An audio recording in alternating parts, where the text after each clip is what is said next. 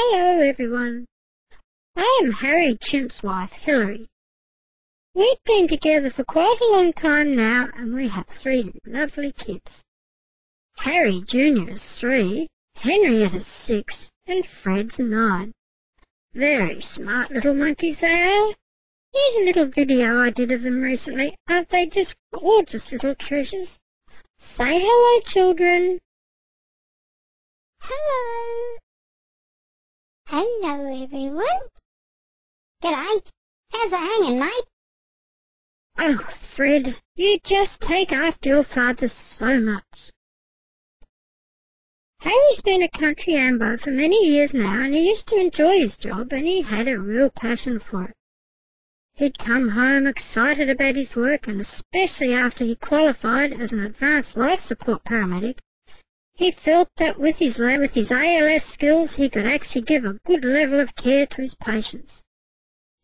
Initially he studied really hard and gained his ALS skills because he thought, like most of his peers, that eventually he'd be rewarded and recognised for his commitment, skills and good faith with a reasonable rise in his pay and possibly even some back pay.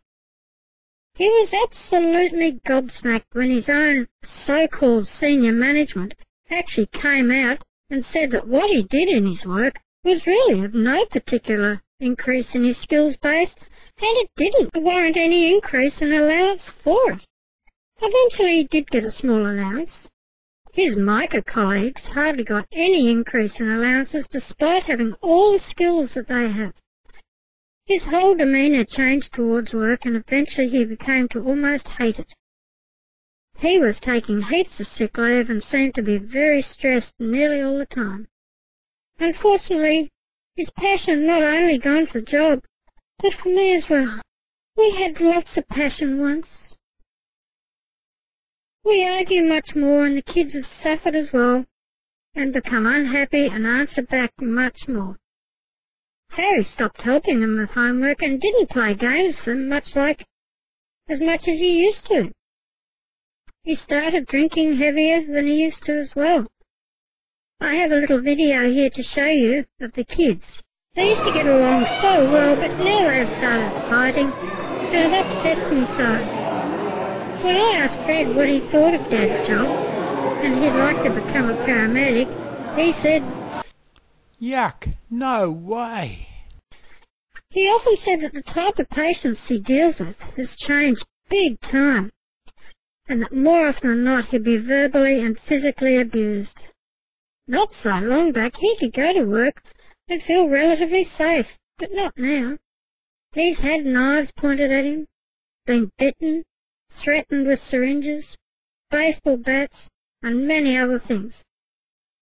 Some of these threats even come from some of the older patients and from patients that you'd least expect. He's getting calls to stupid little things day and night.